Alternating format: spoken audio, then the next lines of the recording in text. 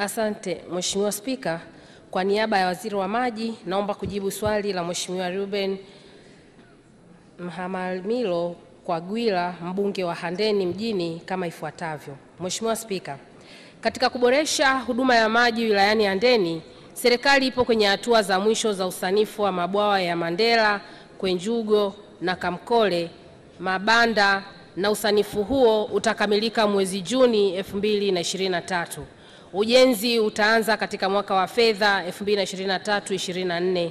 Kukamilika kwa ujenzi wa mabwawa hayo kutanufaisha wananchi wapatao elfu kumi na moja na nne wa mitaa ya Mabanda, Komoza, Kwenjugo, Ngugwini, Bwila, Kwedisewa na Kwedigongo. Mheshimiwa Ruben Kwagilo, swali la nyongeza. Kushukuru sana Mheshimiwa Spika, niulize maswali mawili ya nyongeza.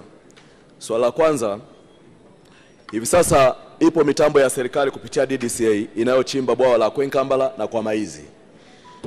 Kwa nini serikali isiibakishe mitambo hii ndani ya wilaya ya Handeni itakapokamilisha Kwenkambala na kwa Maizi ili iendelee kuchimba mabwawa hayo mawili ambayo unayazungumzia Mheshimiwa Naibu Waziri? Swali la pili, mradi wa HTM mkandarasi tayari amekwisha pewa msamaha wa kodi na alikwisha kamilisha usanifu. Ni lini mkandarasi huyu atakuwa site kuanza ujenzi mara moja kwa mradi huu mkubwa? Mheshimiwa Naibu Waziri, majibu. Asante Mheshimiwa Spika, kwa niaba ya Waziri wa Maji naomba kujibu swali la nyongeza la Mheshimiwa Ruben kama ifuatavyo. Mheshimiwa Spika, mitambo kubaki Handeni hakuna tatizo, tutahakikisha inabaki mpaka imalize kazi. Kuhusu mradi wa HTM lini utaanza, uh, tayari wanapaswa mkandarasi kuwa site.